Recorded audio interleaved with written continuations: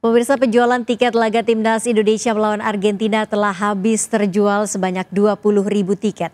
Ketum PSSI Erick Thohir mengatakan antusiasme masyarakat membeli tiket merupakan apresiasi kepada bidang olahraga, khususnya sepak bola kelas dunia. Dalam waktu 9 menit, hari pertama penjualan tiket pertandingan timnas Indonesia melawan Argentina yang berlangsung pada 19 Juni habis terjual. Ludes tiket terjual sempat menjadi trending di media sosial. Ketua Umum PSSI Erick Thohir mengatakan penjualan tiket yang dilakukan pada 5 hingga 7 Juni dibuka sebanyak 20 ribu tiket per harinya. Tautan pembelian tiket yang di-share pada pukul 12 siang tersebut mengharuskan para calon pembeli terlebih dahulu war atau bersaing untuk mendapatkan tiket sesuai waktu yang ditetapkan.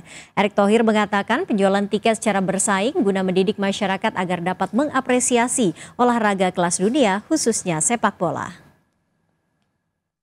Dan saya berharap tentu dengan keseriusan daripada pemerintah, PSSI membangun, masyarakat juga bisa mengapresiasi industri olahraga, terutama sepak bola.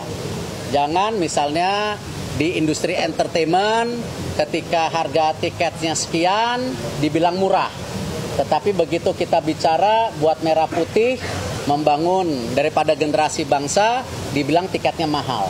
Nah, kita sudah buktikan harga tiket Argentina di Indonesia itu jauh lebih murah dari yang ada di China. Jauh lebih murah. Ya. Dan alhamdulillah kalau kita lihat hari ini dalam waktu 9 menit ya itu 20 ribu tiket terjual langsung. Nah besok akan ada lagi 20 ribu tiket lagi, besoknya lagi ada 20 ribu tiket lagi.